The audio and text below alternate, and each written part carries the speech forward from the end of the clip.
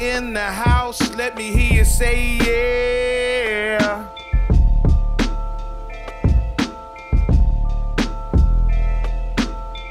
Welcome to Legend Conversation number five.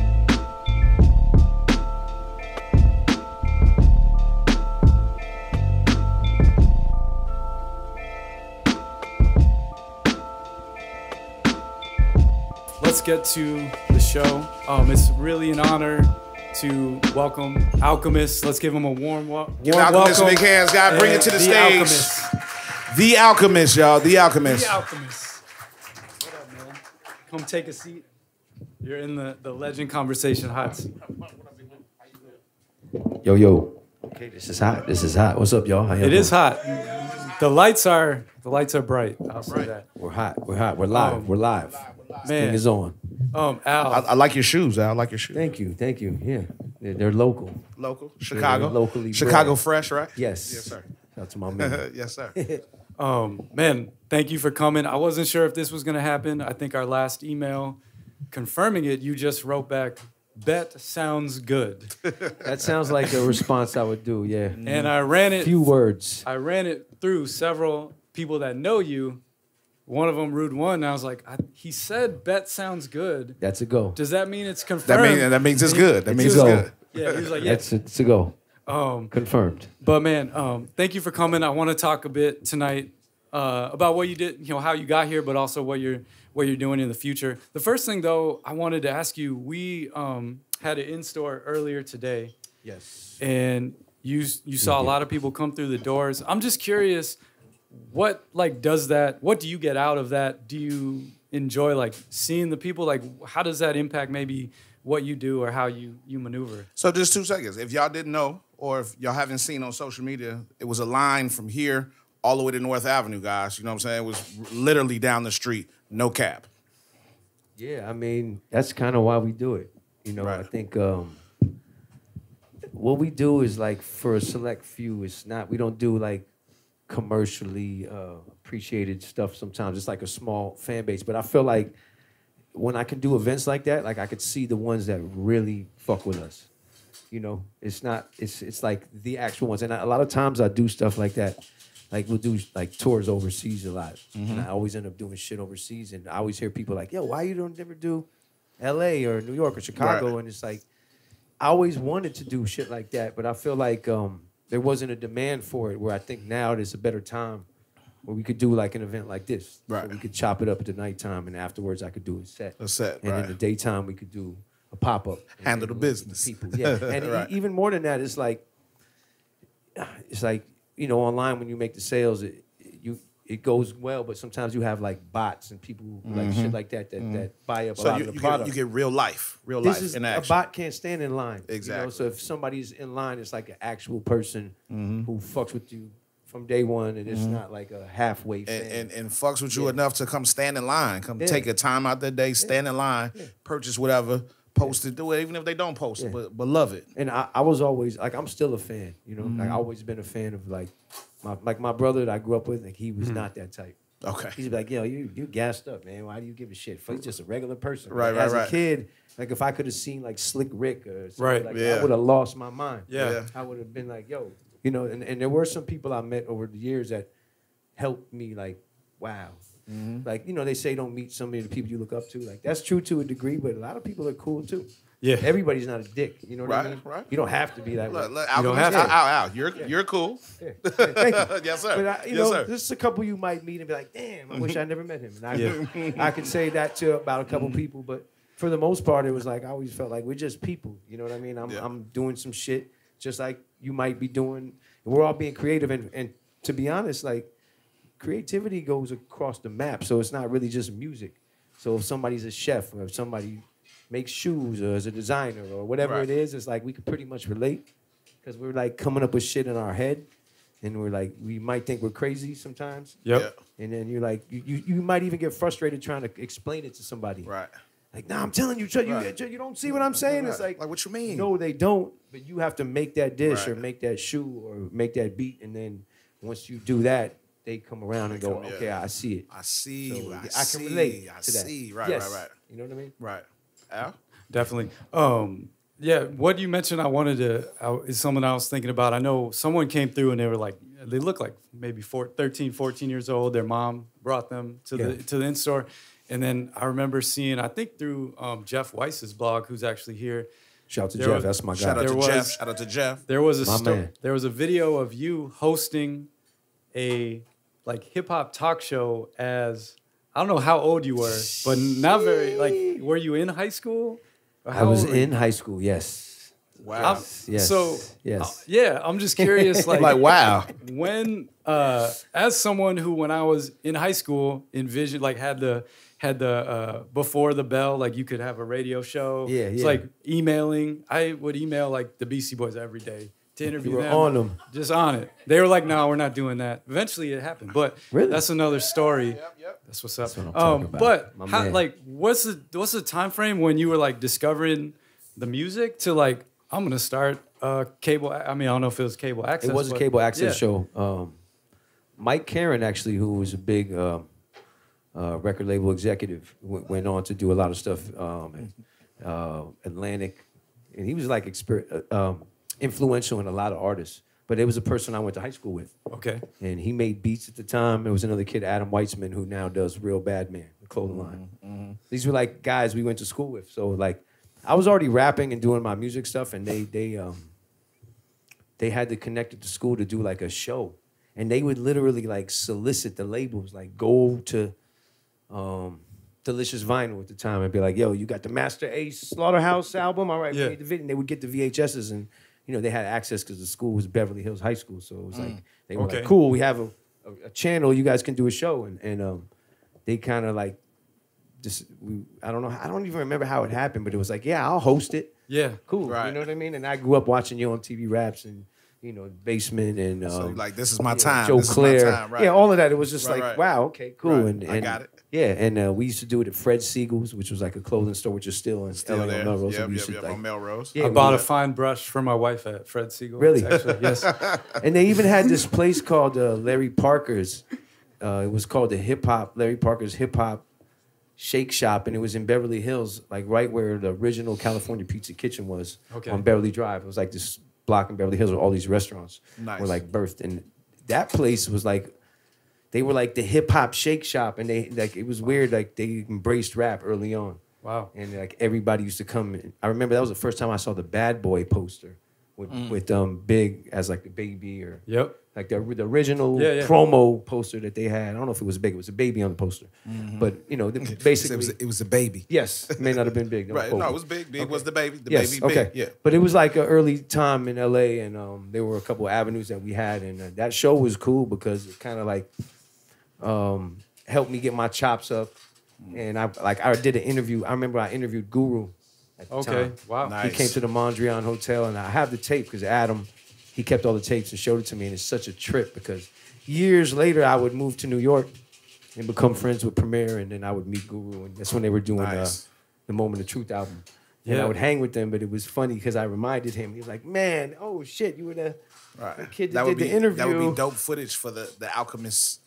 Yes, Net- yes, Netflix, yes. Alchemist Netflix. It joint. exists. Right. It exists. I, I'm, you know, I'm rest in peace, Guru. You know that Yeah. was like a, Rest in peace, Guru. Yeah, Yep. man, he was like a real cool dude, and like I, you know, those people. When I first moved to New York, like I met Premier uh, on the Soul. I know we're moving around, but I met Yeah, Premier on the good. Soul Assassins tour in '93 when I was opening for Cypress. Mm-hmm. I was in a group, the Hooligans, and um, he came to the show. And you know, Premier was like my idol. Mm-hmm. Even in '93, Premier was like the height. Yep. He was always like on another level. And, Super uh, producer. I think Yeah. you, you told me before uh, if you saw a Premier's name on an album, you just that One was the hundred. I mean, come on. I think anyone in this room could say, like, you know, whenever you would see his name on a record, it was pretty much like, I know that's going to be something. It was like, Right. he Yep. really rarely let you down. Sometimes he would show up once or twice on the record, you know. right.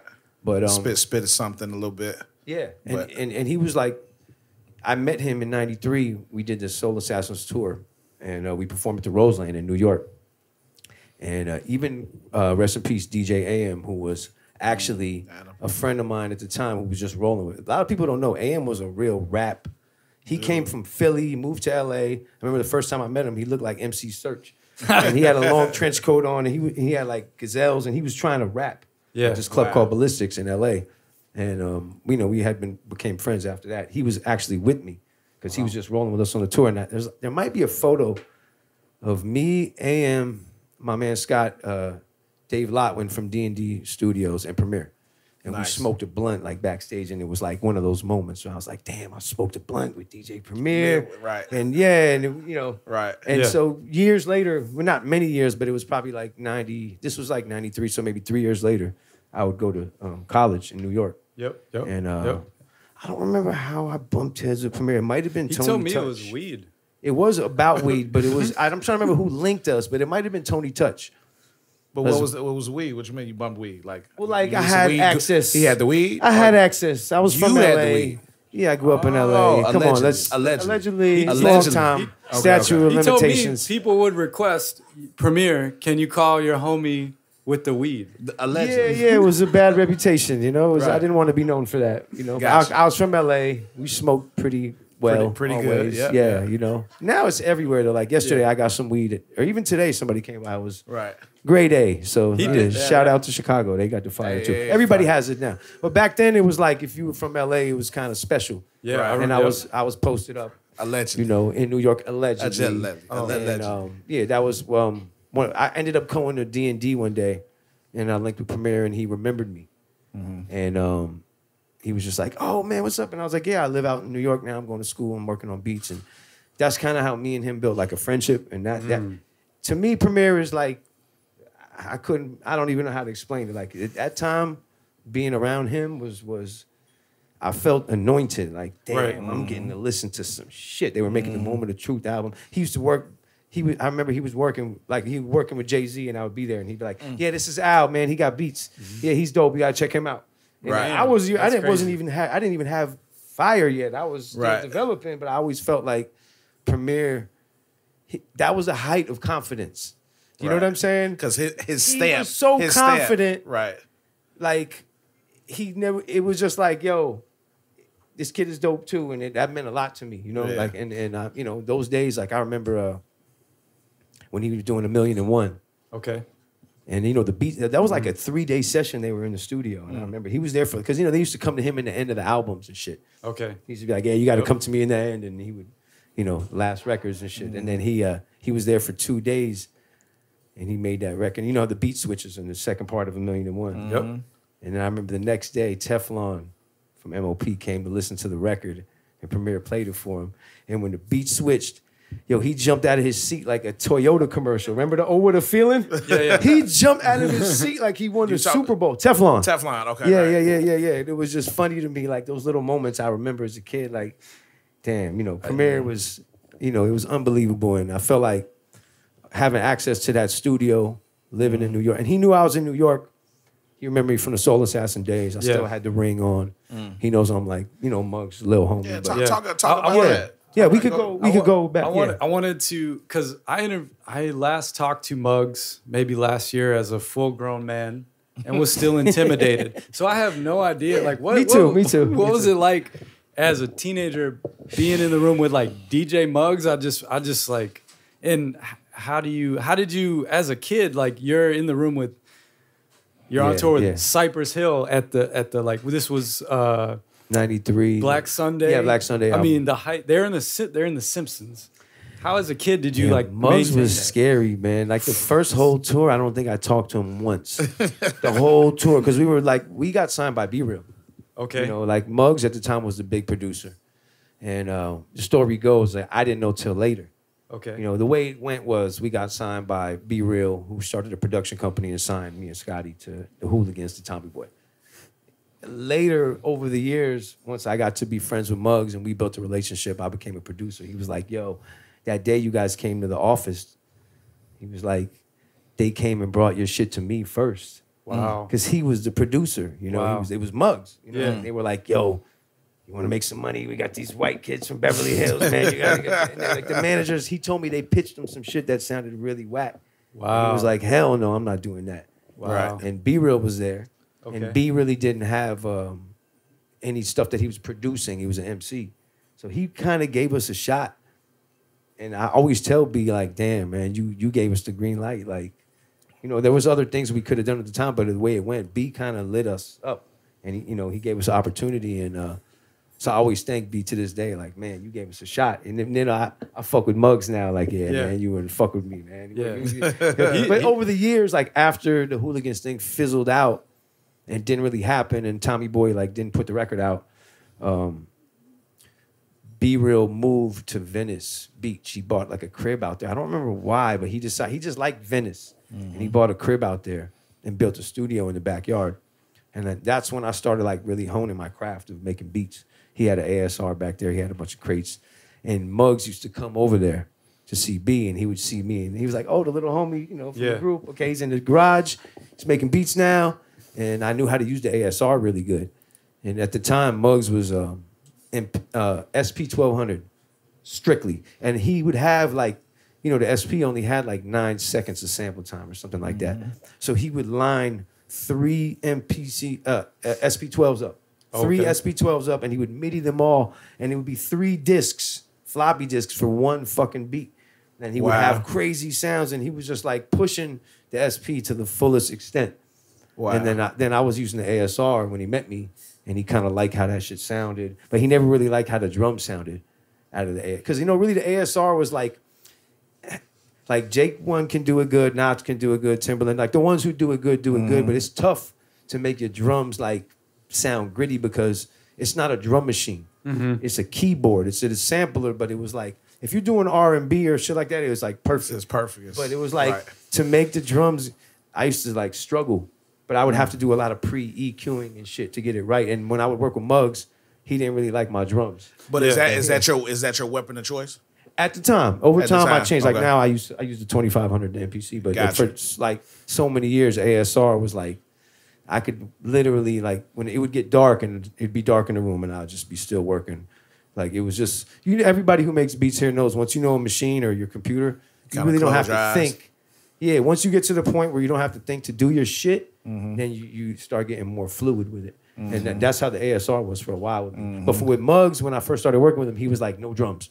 Yeah. So he would be, he would do the drums on the SP, Yeah. and I mm-hmm. would kind of that. That was the Black Sunday album. So there was like that was like my first That's crazy, man. training ground That's of wild. like making beats on a on a high level because you know, B Real was I Be mean, Real. Yeah, You know? I, am just wondering too. Like, I think about um, when we had Jazzy Jeff here last time. I was talking about just like things he learned as a DJ, like cult, like we were talking about DJ lessons that translate to life skills, possibly. And I'm curious, like, are there things that you learned from Muggs outside of music of just like how to conduct yourself as a, a producer, or you? I've seen you talk in interviews about like the producer community. Like, Yeah. are there tenants of of this? Are there things that you- several. yeah, like yeah, yeah. There's, there's I got all type of. like what does it mean to be a member of that? Yeah, what does it I mean, mean to be a comrade? I might meet you today and you play me a beat, and I'm like, I look at you like you're in, you're in, you're one of us. It doesn't have to. There's no like you don't have to fill out or go through a, a thing. You know what I'm saying? It's like if you're dope, like, I, we can figure it out quick. How many Buddhas have you Yeah. inflated? Right, right. But Muggs was a dick, man. Muggs was Yeah. cold blooded. Like I learned that from Muggs. He had zero finesse, ten thumbs. Like he would tell you that's just whack. Nope. Nope, rewrite that shit. Like he was straight faced, straight like that. Like man, what? Muggs was cold, but but everybody respected it who worked with him because like mm-hmm. look at the records he made. Nah, Right. You know You know what I mean? definitely. He knew what he was going for, but I I took note of that too because I always felt like maybe there's another way. You know, go through the back door. You Yeah. he's coming through the mm-hmm. front door with a fucking sledgehammer. I'm like, well, maybe I can go through the back door and Right. get the same message across. But I learned a lot from Muggs just because Muggs was more of a, a finisher. You know what I mean? Like mm-hmm. um, he knew how to add the little details to a song. Yeah. And I felt like Puff later on would do that too, where I remember mm-hmm. them saying like they used to, if a song is three minutes, it's like, motherfucker, you have how many seconds is that? All right, well, every second is accounted for. They're gonna play that song over and over for a 100 years. So put the magnifying glass to every second, and even if it means leave the, leave it simple, whatever it is, Leave it be simple then. conscious of it. Right. Like care about what you're doing. you know? Don't just let it go. Exactly. And um, Muggs is like Sure. one of those guys. He was a um, sometimes even the beat wouldn't be exactly the way it should sound. He'd get to the studio and start fixing it up. You know, so um, he had a broader uh, vision of how records should be made, and also taught me a lot about how to produce outside of just making a beat. Yeah. Because like No, but beat this making is an art, and it could stop end and stop right there. There's some guys who are legends, and they just make beats. And Mm-hmm. They're not tripping. It's like it's cool if I make a record or somebody raps on Mm-hmm. it. I make beats, and I respect those guys a lot. You know what I mean? It's almost like battle rap. Nah, It's Pop. like the ones that are like, damn, you're on some other shit. You don't even care about making a record. You're just, and I respect that as well. But when I came up, it was like learning those pieces Mm. to also make records, and I felt like trying to do both. You know, Right, but no, but your catalog goes way left to way right. Yeah. It goes to underground to to to Jay Z to Kendrick Lamar Yeah. or whatever. Like, how is that? How how how has that been able to? How how have you been able to do that and and still stay at this level like that? That part is a mystery. Because you understand what I'm saying? Because yes, you, yeah. you, you've either you're either hip hop, hip hop, or you're mainstream with this. Yeah. boom bap or ah, you know what I'm saying? Right. Or turn Shiny- up, turn shiny- up. It was like the shiny suit era, or what everything that was Shiny- against that. shiny and suit. you were you're like, I'm pretty stubborn just as a person. I Okay. Mm-hmm. think I'm pretty stubborn, and, I- and like for better or worse. And it's like um, even touring with M was kind of it's always a trip because you know he's the height of the height, and it's Right. like I'm on tour with him, and it's like you know everything you would expect that comes with that, like the security, the big Boom. the jets, and all that, and the Right. big hotels. And then I'll come off and do my own show Yeah. a week later, and it'll be like 200 people somewhere in Europe, Right. and I and I love it. Actually, like those shows, like I get a lot from being on stage with him because like you know he just taps into a different world which mm-hmm. is cool to see that level of it but then it, it was it's always like humbling and cool to know it, uh, i could see that and be like oh this is it i gotta go here Yeah. and I, i'm one foot in it i could just take the other foot and jump over there somehow i can make Right. it work i'm close enough and it's like when i come home and do the other shit i lean towards that more because it's just more what's in my heart You No, know what I mean? so your, Yeah. your your your heart has bred anthems, pop. You know what I'm Yeah, saying? and, and that was up. I don't know how that ends up, and it's like um, just um being very stubborn, I guess, and and just swinging the bat continually every year, and um, and linking with the right people because I feel Mm-hmm. like I had a lot of phases in my career where working with certain artists, because I used to look up to a lot of producers and, and people Mm-hmm. that. Like I don't want to say I used to. I look up to a lot of uh, producers. respect them. You respect- Yes, you and it respect was the like, work. where does it go from there? right. you know, because um, working like this music always changes, yeah, you know, and I think sometimes people look at me as like a purist, like I'm trying to keep Mm-hmm. one thing one way, but I, I'm stubborn, but I Mm-hmm. also know that music grows, and I like, I like my young homies. Right. I keep young homies around me all the time, and I like to hear what they're listening to. Right. But not no, then- but but good music is just good One music. 100%. Right. And then like a lot of times they they play me shit. I'm like, yo, I like this. Right. This is dope. A lot of times they play me shit. I don't get it. Right. and and and I and some of the stuff, depending on who's putting me onto it, I give it a little more time. Right. Let me give it a more listen. Hold- hold but if Pop, it- did, did you did you give Holt that record because he went off? He needed to know who was playing in that playlist. which what? Holt, who got who got the record for you? You got it. Okay. I don't know what in you're the talking playlist. about, man. I'm just saying to his point of like, man, I get that. That's dope. I love it. The whole hold hold a record. He, he held heard a record that he had to have in here. yeah. Boom. And, and like I said, sometimes you you you you'll give it extra time and it'll grow on you and you'll be like, damn. Right. You know, and then other times it's just not your shit and I'll never lie to myself because I don't want to be that guy either. You know what I'm saying? It's like Yeah. trying to tell myself something is dope when I I don't Mm. feel it. You know what I'm saying? Yeah. I, so I want to talk about what you're doing now, but kind of what you said. There's a question I talked to. Uh, I mean, you came up with evidence from Dilated Peoples Mm-hmm. like a good friend of yours. Yeah, my brother. Um, I talked to him and he said you came to him one day and you said, "I'm changing my name to the Alchemist. I'm gonna step back from rapping.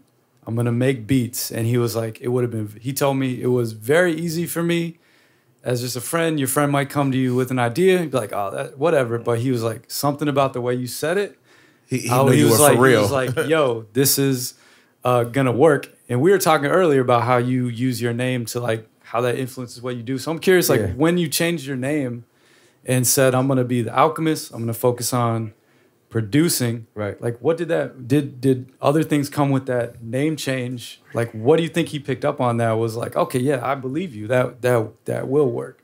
I don't know, man. That's like a real eloquent uh, That's deep, description. right? Thank you, evidence. I don't know if it really went that way, but I, I shit. I've always been pretty driven, And like when I feel like any of us in here who you get an idea, you, like you see it, you kind of gotta give it your best shot to follow it out. So um, I don't know. It was a friend of ours that we grew up with who passed away. My man Kaser, rest in peace. He had a, a project. It was Alchemist something. I forget the other word. He had a project. He was a rapper, and he told me, "Yo, you should use that name," because at the time I was Mudfoot. I was coming out of Right. Hooligans, and he kind of gave me that name. Yep. And it was like Mudfoot. Yeah, that Mudfoot would have been a tough. Yeah, I think yeah, it was like The all Legend right. conversation, Yeah, yeah, The, yeah. Mudfoot. the, the And some people still know me as Mudfoot, which The is Mudfoot. very strange. Yeah, like yo Mudfoot. Did you have a Did you have a logo? Nah, but I used to always draw like a foot when I was signing. And like, it was yeah, mud, yeah, the mud, yeah. the mud yeah, foot. mud foot. Yeah, yeah, it's like it's just something dirty, you know. Coming to the stage. Yeah, the mud, mud, foot. Yeah, I don't know. It might have worked, but Yes. but I don't. I switched it up, and then um, I, I don't know. It took a long time. I'll say that. Like once I started making beats, I got to give a lot of credit to DJ Lethal from House of Pain. Because he was he was so he's so dope. Like his beats, people don't know because he, you know, he found different paths and went Limp Bizkit, but like his beats, SP twelve hundred MPC are nuts and always have been. Anyone who knows him knows, and um, like he was the one that took me to um, to Guitar Center to get the the ASR because I wanted the SP12 because everybody I studied from was using the SP1200. I didn't know anything mm-hmm. different, and he took me to Guitar Center right after we got the Hooligans deal, and he was mm. like, "Yo." Get this thing. It's an ASR 10. It's a keyboard. And I'm telling you. I'm like, yo, I don't play keys. I don't know. I don't know how to play piano. He was like, Right. trust me, it's not a piano. You can sample on it. And I literally trusted him. You know what I mean? And mm-hmm. kind of like bought that shit and it was a blessing because it kind of gave me a different sound than all the like T Ray was using the SP, Ralph Finn was using the SP, S- um, you know, he was using it, Muggs was, so it was like, okay, a different weapon.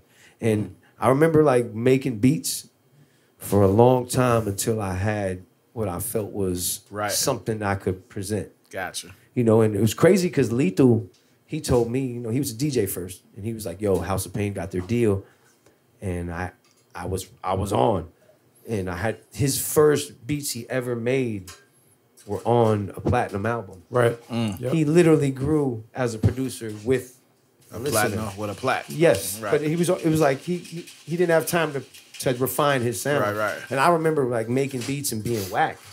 Like I, I listen, I found some of my old beats. They suck. yeah, maybe I'll release them one day to give people like yeah, some confidence. Like But trust no, me, you so, can so do it. let I me so let me ask you that. So, but why? So why do you say they suck? Like just, They were just innocent, and I didn't know what I was doing. okay. So there might have been some good ideas or good samples, but I just had no idea how to. but you didn't use the right sounds, maybe. Is I what you're had saying? no tricks. Had no trick. No bag. tricks, no yeah, tricks. Everybody knows. You know, it was like, but some of the samples and ideas were good, and um, it took time for me until I was like, okay, okay, I knew who was out there, and I felt like, not that I could whoop ass, but I could compete. Right. You know what Definitely. I mean? And that was like, bring bring it on. yeah, or like when somebody today brought a buck 50 12 inch. It was like the dead end Right. street. And then that was that was like one of the first records I did when I moved to New York. And Muggs was like, all right, you're out there. I'll put some money up. And we made a 12 inch for my guy, Buck 50, and put a record out. Bet. I mixed it at D&D. And and I felt like I was, you know, Stretch and Bobbito were on the radio in New York at the time. Right. And I knew them because of Mighty Mi, who was a friend of mine. And so Yep. I used to like get records to them and then hearing that shit on there. And they were so ill, they would play it every week for a whole month. Mm. Like if you were down with them and they like and like you had a record that you were pushing, they would play it every you know, they were on every week, once a week. They would play it every week for a month because your record was in Fat Beats and it would help sell the 12 inch. Yeah. It, it seems it seems like like throughout your whole Yeah, that was part of big the ups shit, to like- Fat Beats for sure, Yeah, and Stretch yeah, and and Stretch and Bob. That, that was Stretch and that Bob. was a big Bobbito, all part, that. and that, that meant a lot to all of us. Yeah. Or for me, just moving to New York, like when I did uh, uh, open mic night Yep. with High and Mighty, Yep. and then like he used to play it, and it was crazy. You know, rest in peace, Kay Slay. That was my man. You know, he Hmm. we did a lot. Me and once later on in the years, once I linked with Prodigy and Mobb Deep, Kay Slay showed us a lot of love, and he and he was like, you remember the, the era when Kay Slay was like the man. It was a Man, huge for the deal. for the for the mixtapes, everything. And, and he used to be like, New yo, music. and he used to be like, yo, you know, give me some shit, I'm gonna play it. Yeah. And me and P would like, we would make us. He would be on every Thursday night. So me and P would make a joint like Wednesday from scratch. We would make a, a brand new record to bring to Kay Slay. We would meet him outside at like a gas station. Yo, give him the CD. Cool. Boom. And then Thursday we'd be listening to the radio, and it'd be it Playing. wouldn't come on. And he'd be like, everything he was playing was like, everything you're hearing, you could get on my tape right now at Burkina Music Hut right now. Yeah. So he was playing the shit that was in stores that week. So he'd be like, damn. And but then next Thursday, Yeah. he's playing our shit immediately Nice. because it was in the stores that week. Nice. And he'd be like, what you're hearing right now is in the store. But then the next week, it was over because he would play the next tape. Then- so I always loved Stretch and Bob for that because they would give you like a month because we had the vinyl in, Fat Beats at the time. And you know, now it's different. It's hard to put in perspective, but at the time, like, I remember, you know, let's say Evidence, for example, he he later on in his career would hook up with Atmosphere and, Yep. and um, Rhymesayers, which is an amazing label. Yep. And I remember talking to, to Slug one day once we were like working on Ev shit, and they have a whole ecosystem. Their shit is like incredible how what they built out there. And I remember talking to him like, "How did you build this shit?" You know, like mm-hmm. I'm just starting up my shit. I'm like, "How how did you how did you build this whole thing out here?" And he was like, "Yo, you don't remember?" Yeah. I'm like, "Nah." He goes, "We were trying to put out 12 inches when you guys were putting out dilated 12 inches through Fat Beats." Wow. and we couldn't get any mm. traction and no because literally at the time for a group like dilated we put out i forget what the first 12 inch was but the Work the- second one the second one was work the angles Okay. The second one was forget third the degree. was.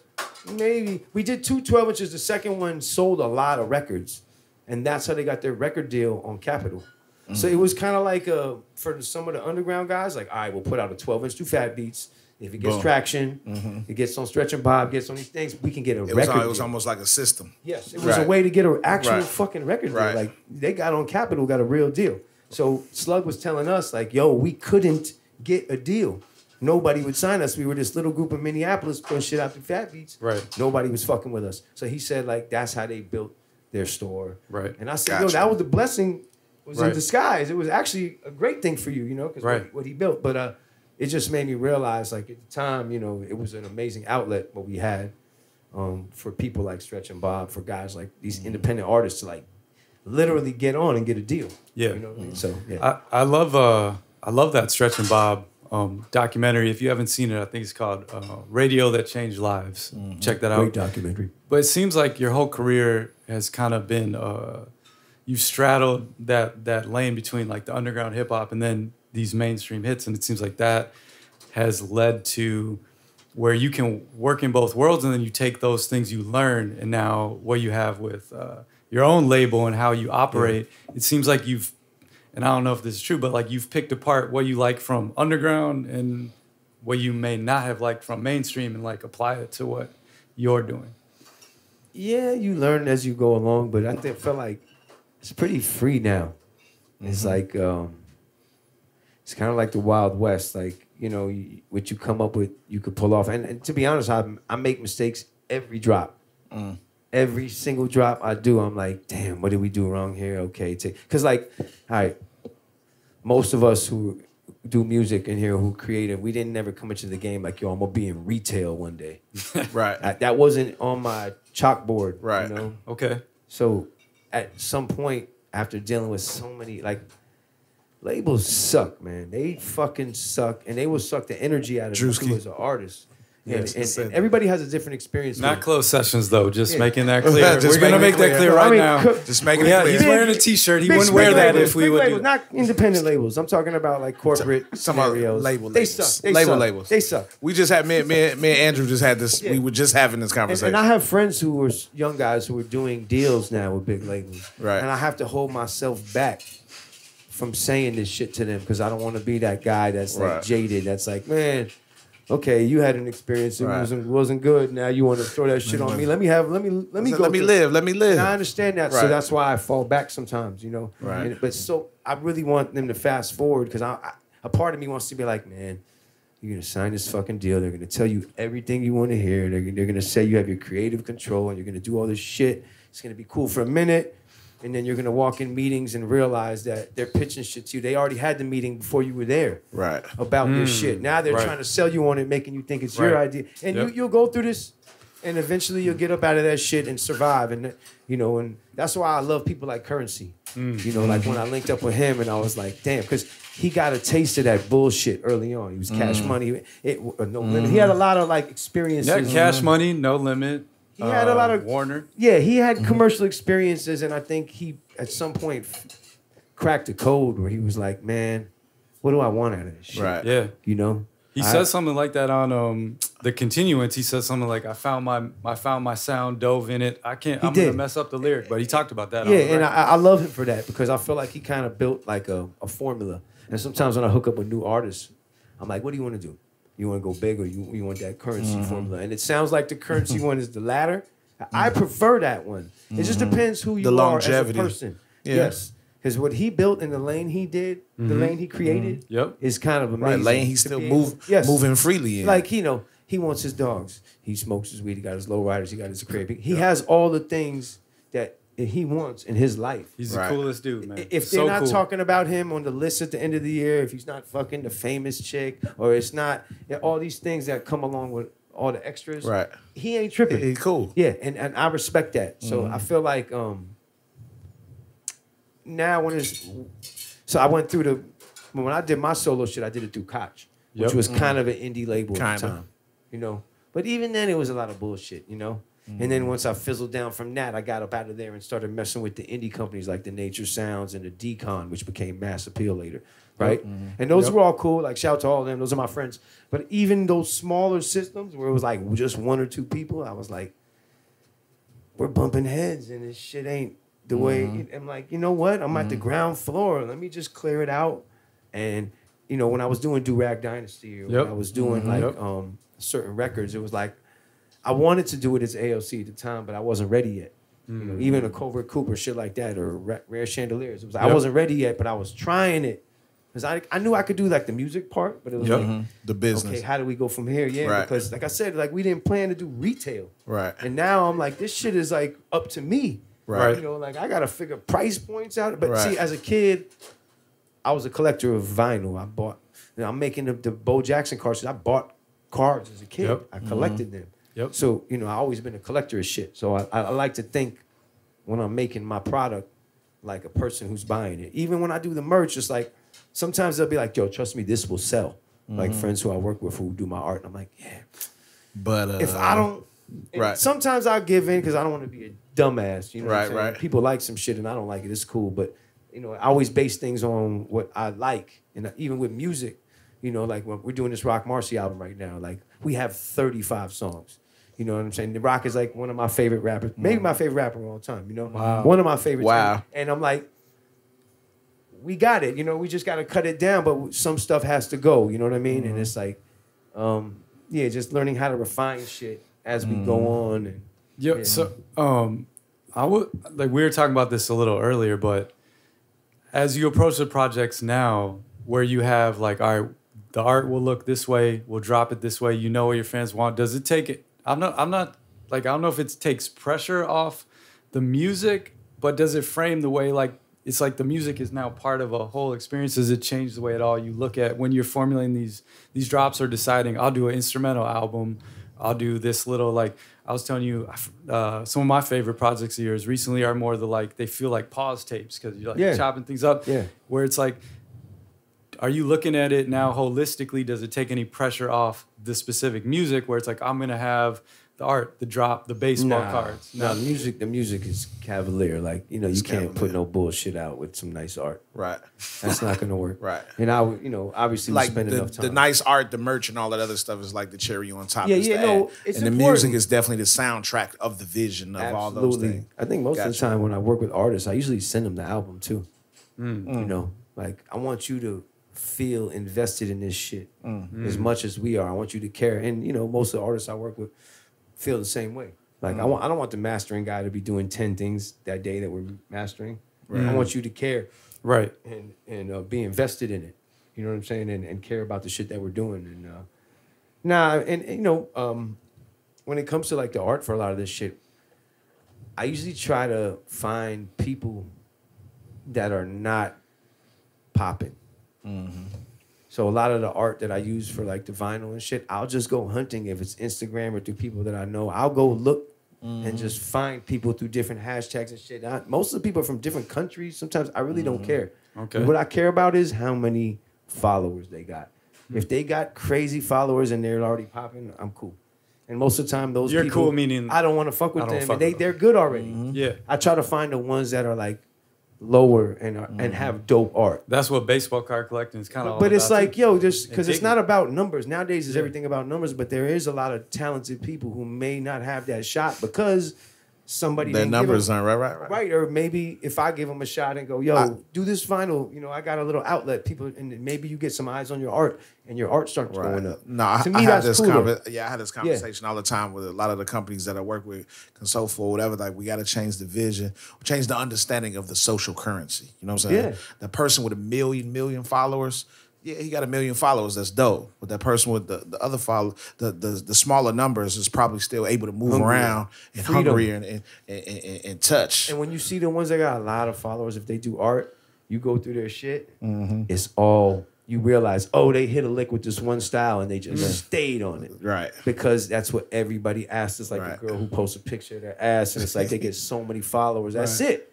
Right. They're posting those pictures Right. every time it's on. Like Right. you know, you how Three you times a day, booty- victim. butt shot, butt shot, And three I feel a that day. same way about algorithms. Like sometimes I'm like, yo, fuck algorithms, man. Right. Yep. They're trying to predict me too much. Y'all know, you know me too Let's well. clap it up. Right. Fuck the algorithm. Like the Fuck- fuck algorithms is Fuck the kinda- algorithm. Like we all have our own personal robot who knows us so fucking well. Yeah, they could just tell you, oh, no, no, you're gonna like this shit right Yeah. here. You know what I'm saying? Yep. That kind of, I mean, it is where we're going with it, and that's where the world is. But at the same time, sometimes it's in the same way. It's Yeah. like we become victims of that shit. Like I, if I post a video of me making a beat or playing a beat, I know it's gonna go up crazy. But am I mm-hmm. gonna post those every day and become a victim of views? Right. Or am I gonna do what feels right to No, me? No, but no, on that And day, on that day, you felt like you were feeling something Yes. in this beat. Yes. Like, oh man, this- and this- I love doing Yeah, those. yeah, Yeah, yeah, And, I, and I feel like, you know, it's just being conscious of that shit and not Yeah. becoming a victim of it because, Yeah. yeah, you know, that's where we're at. Nah, you I remember hitting on your profile and you were like making a beat to a police chase at Yeah, one I did that one time. I watched. Yeah, it's a bad habit. I watch police. LA in LA, there's a police chase like damn near say every all day. all the time. It's pretty lawless. I don't know these days out here. LA is wild. Pop, you Yeah, in yeah, Chicago. It's pretty, Yes, it's yes. pretty, Chicago. It's pretty lawless in Chicago too. Chases too, like the police. Uh, a little wild, Uh, running and Well, Yeah, it's want- not as um as much of a driving city as LA, so Right. it's not Yeah, like yeah, the yeah. highway chase, but yeah. It's pretty crazy. it's a whole that's a whole different. Like you can get away. Yeah. I'm not advertising it. Don't don't don't run from the cops, but you can get away. yeah, we gotta just make sure Lori Lightfoot. Look, not- allegedly, you can allegedly, Allegedly, get away. yeah. Allegedly, you can Allegedly, get away. get away. I- Right, allegedly. That's what I heard. um, right. I was wondering too, like how much, if at all, did the pandemic accelerate, like what you're doing now with ALC Records? Did it play a part at all? Because it felt like in that, in the COVID, like the real shutdown, everything, Yeah. like you just took all you really. catapulted. Yeah, you just you, the Conway, It's Freddie fucking Gibbs. weird to say with it. I kind of enjoyed the pandemic because I Mm-hmm. was home. I'm already a home person, so like Mm-hmm. being able to stay in, and when times when I would go out, it was empty, and it was like Mm-hmm. it kind of felt. I don't know. It was like a weird time when I think about it because we were all reaching out via like FaceTime with all your friends, and it was like I was I felt compelled to do those like um, DJ sets that I did it during that time. Which now I feel like yeah, I got to do more of that shit. But it was like it made sense at the time because we were all at home. All at the crib, yeah. Yeah, and it was like, ah, I want to, I want to let some shit off, and Right. yeah, um, since everything is back out, Yeah. I have noticed like some of the stuff cool off as far as sales Mm-hmm. because naturally, any business that was like a internet business, if you were selling shit online, yeah, you were killing it during Mm-hmm. Killing that time. it. Everybody was at home, Yeah. had more time, and plenty of money to just. Now you they had the can go. bread- Now they can go Yeah. touch things. And Yeah, you can go on Move vacation around. again. Yeah, Yeah, yep, you have less money to just spend on some Bullshit. shit. So yeah, it was right. it was good. It was a good Right. time, and I think it, um, I did notice it a little, but it was like, you know, Yeah. like, Um, I read uh, you said in another interview that you f- you feel like the rapper's voice is the last instrument Yeah. of a track. Um, how much like how do you consider that in in in in making music? Do you think about these people you collaborate with? Like, are you? How, I guess like how does that register in your main? Are you are you planning out like all right, Roc's voices like this, Yeah. Freddie Gibbs' voices like this? I always like depending on like like Mach probably doesn't even know, but when I was working with Mach-Hommy, I was making so many beats with him in mind hmm. that I probably hmm. didn't even we he didn't even use or like. And I do that a lot. I think all producers do that. Whether you have an acapella Some of it is like not good. Like Prodigy acapellas don't make beats with them because everything's gonna sound good. It's not fair. You have a beat, and be like, yeah, it's just crazy. It's just because his rhymes, you know, he's Yeah. so good as Just a his rapper. voice, yeah, yeah. yeah, I yeah. Think he's being more pre- more like I listen to Prodigy more and more now, and it's just like yeah. he was not given even the like right Nah, his, his voice is one of a kind. But we mm. all, I think, we imagine voices when we're making beats, or you'll, well, you know, anybody who rap who makes beats, always I feel like had an advantage, you know, like because you're consi- you're leaving room for that, Mm-hmm. and and um, when I'm like every day I pretty much make beats Okay. because I go to the studio every day. So like, I'll do some. I'll throw a needle on a fucking record every day. I might hook up a beat. I'm pretty random with it, and I'm hmm. real scatterbrained. So I might make three beats one day. I might just hmm. listen to samples one day. I might, but I'm I'm doing something every day. You know what I mean? Do do you just strictly make beats at the crib or in your space, or like do you have like a little setup that you might pull out on the plane, put your headphones on, and work out or hmm. whatever? Like like question. like what do you, like what do you how do you do it? Like what is that?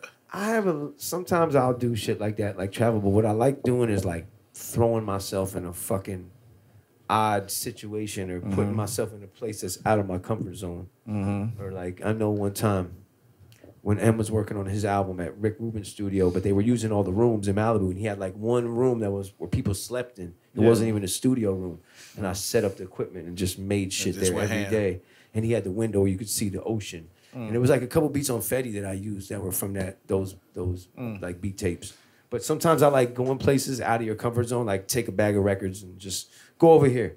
Yeah. This is what I'm making the beats out of. I'm going over And here that's what it today, and you get a different energy. You know what I'm saying? Because you have, you know, even just working with Marci, you know, right now, and, and Yeah. we're doing the album, and it was like, how do we get a different result? He's so good.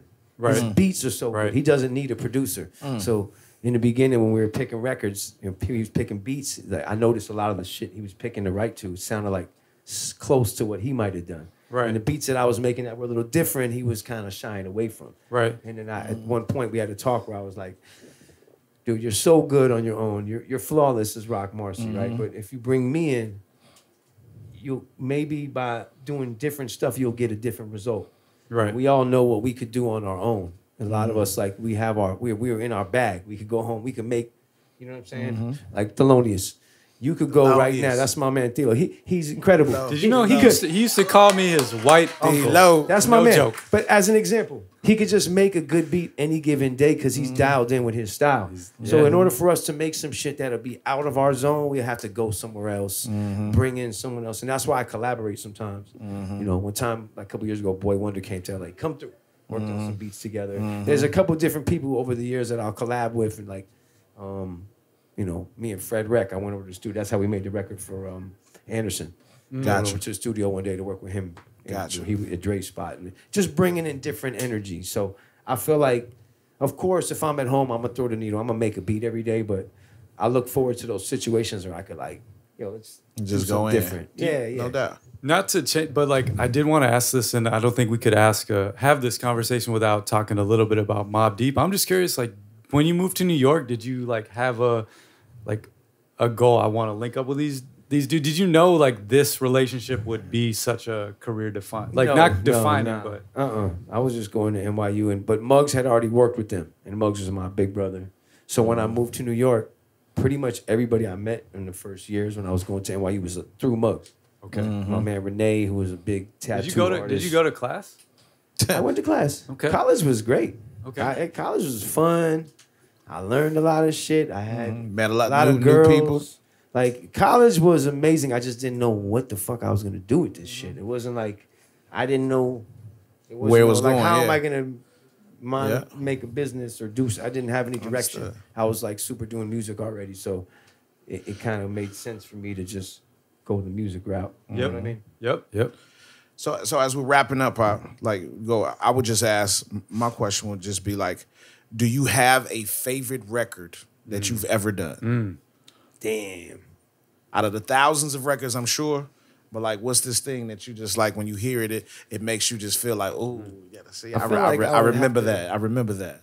I would say probably keep it thorough, just because So good. So that, good. that joint like I remember when we did the Realest, just taking it back to Mobb Deep. Yeah. Mm-hmm. You know, Muggs hooked us up, and I didn't know we would grow into the relationship we did. But when once they saw me in New York, doing my own, you know, I first hooked, Muggs was like, "Yo, link with Infamous Mobb. These are these Mobb Deep's young homies." I linked with them. We did Thug Music at D and D. Mm-hmm. That was gonna be from Muggs' album, first Soul Assassins album. Muggs actually looked out. I called him and said, "Yo, these dudes are gonna let me." They played it for P and Havoc. They want to use it in the Mobb Deep album. use it. Muggs like paid for that session, and he actually was like, "Don't worry, go ahead, do some other shit." He, uh, you know, he actually looked out, let that happen. Yeah. And um, so we linked, and uh, they brought Infamous Mobb brought me to Havoc and P, and I remember I had the Realest on a DAT. It was like a interlude between beats. Because at the time, it was, that, that beat is a one shot beat. Crazy. Like it literally is like doom doom doom doom doom doom doom doom doom doom. There's no fancy work to that shit. It was just pitch it up, EQ it, and they rhymed crazy. But when I had it on the DAT at the time, I was kind of insecure because those joints we used to put on DAT in between the beats. Like on a Pete Rock album or, or like a Gang Starr album. Remember they used to have the interludes? Yep. Or Lord Finesse. It was like they would the beats on the album were always crafty, but it would, if it was a one shot, it would be like just an interlude. Mm-hmm. Yep. I kept calling that shit an interlude. Like on everything I love, there was going to be a Defari interlude for Focused Daily. Defari. That was Yo. going to be a Defari. Defari interlude. Wow. And P, I would go see the studio, and P would be there and not have it. And I play this all my beats, and he'd skip through them and go to that one and go, I like this one. I like this one. And then I the next day I come over there and Havoc would be there, but not P. And he'll go through the dat. And go, Yo, I like this one. I'm like, yo, you, your man. He said the same thing. That's crazy. And um, I was kind of discouraged because they didn't like any of my beats. They were like, Yeah. they just like this fucking joint where it was like an interlude. Yep. Yep. And um, then one day, obviously, P called me and said, "Yo, come to the studio, G Rap." And I showed up. We did the record, and, that was- and that was that, right? And then we did that in Thug Music, and then there was like, so then I was kind of like known, but it was like, it could be a good sample, you know? Maybe the guys just stumbled on the record, Right. And when we did Keep It Thorough, I felt like it kind of at least proved that it wasn't some like he just found a good record. Right. You know, because we remember P was like a little sick when we did that vocal. So if you listen, his shit is kind of nasal. Nasally. Mhm. Yeah, he was a little sick. I think we were in LA even when we did that. But that's the joint that when you That's hear. my joint. That's the joint that when you hear, you're like, oh, yes. It meant a lot to me because Yes. it felt like I remember like Chris, uh, yeah. not Chris, like uh, Steve Rifkin Mm-hmm. was like, you know, Dante Ross, also my man who also helped me a lot over the years Dante and always Ross. showed me love. Know was like- Dante he was- very well. Yeah, he was mm-hmm. trying to get me a production deal at the time, but after that record, where I did that record, and he was like, "Yo, we want to give you a." At the time, you would do shit like a ten beat deal, and they'd mm-hmm. like pay you in in advance for like ten beats, half of it, and then you would just owe them ten beats. Wow. We never did that shit. I kind of, you know, because you never really would fulfill it. Right, No, right, I, right. I have hustle. friend, I have friends that like sign deals like that and still have Nah, never it's a good done hustle. the beats. Yeah, it was so- a good hustle. It never materialized, but Dante was one of the early people who always like supported me. Clark Kent. Every DJ, time I yeah. would be in the studio with Mobb, because Mobb had a studio called Soundtrack. They used to work at a studio called Soundtrack Mm-hmm. in New York, and in the, there was like three rooms. They would work in the first room, and and Busta had the other room, and it was Chris Lighty. You know, it was like his, all his clients, Yep. and it was like Violator. yeah, and I remember like remember Clark Kent coming one day and being like, "You, that fucking guy that made that Yeah, shit, that's- yo, man." that's- It gave me a lot of confidence. You know what I mean? That's like, big, homie. That's Yeah. That's that's number six. That's number six. That's number six. That's legend, legend conversation. Number yes, six. yeah. Clark, shout out to Clark Kent, but yeah, Oh. people like that. Remember one day Busta came because you know Busta used to see me with Cypress. You know, because I used to tour with Cypress Hill every year. I would just roll and like carry Muggs records and shit. And blow uh, up the Buddha, man. Don't sell yes, yourself short. I, I did that as Shut the well. And uh, I used to carry Twilite Tones records too. shout out to Twilite Tone, a legend in this house, man. Yeah, yeah. Salute, man. Look, look, look. I used Woo, to legend. ca- carry Tones. Tones records, and he would have that SP12 like it was like a, a laptop, like Word. almost everything. yes, Can- okay. can- my bag, Tone. Can I, can I just shout out Chris Spurlock? He would carry some of my records sometimes. That's first I don't know record. Yes. Fuck with you, man. Because you, cause DJ, no, have, have you? Do you know his name? DJ RTC. Oh, are you, are you talking about uh, Roosevelt Treasure, Treasure Chest? chest. Yes, yes. Yeah, yeah, I know about yes. that. Roosevelt. I know Roosevelt about that. chest. Yeah, I know yes, about sir. that. That's You're- my the, man. the first drop you gave me though, you kind of play. You were like Theodore Sizzle's chips. That's fire, actually. That's I like have a it one to one. recorded, too. Theodore, Theodore Fizzle, Sizzle Chips. And then you said AKA. like Franklin something. Like I got it all. It's a crazy name, It's man. a crazy name. Yeah, That would be a name. hell of a group. Theodore Thizzle Chips and Mudfoot. And featuring Mudfoot. Featuring Mudfoot. Yeah, Mudfoot. he was like, "This is Alchemist Nice. with my man Theodore Sizzle Sizzle Chest." Wow. My bad. I might put it on, maybe put it on a one on one forty five, just looped and Fuck said, it, Hey, hey, listen. It. Fuck it. um, but man, uh, before we go, I wanted to. Uh, you won, or not won. I don't know if it's an award they officially give out, but Complex called you 2021's uh, best producer. I'm just curious. You know, you take it with a grain of salt, but like, if you appreciate that all, or if it's different than if you would have won that when you were, like you said, in the Keep It Thorough days. Like, does it mean anything different to to, to have that in 2021? Like the stage of your career you're in, did it hit you in any way? I mean, recognition is always cool. You know, I appreciate it. They, you know, Flower. But yeah, that's that's Let me that's get dope. that. Let you me know, get that, I right. appreciate it. I mean, you know, opinions. You know, everyone's gonna have a different one, and Mm-hmm. if if they certain people feel like, oh, yo, you're doing your thing, it's cool. I'm I, I'm out for blood every year. You know, Mm. that's how I feel about it. So I I love and all the producers that I compete with, I love. Mm-hmm. You know what I'm saying? I think producers have a different camaraderie than rappers. You Mm-hmm. know, like all the dudes that I respect are like my comrades. You know, the ones that kick my ass, and I could Mm-hmm. sit here and name them all day. You know what I mean? But but um, uh, yeah, I. eh, hey, just getting any bit of love is cool. So you know. So, so real quick to the crowd before we leave, Fabius Alchemist record. Two seconds. Let's go.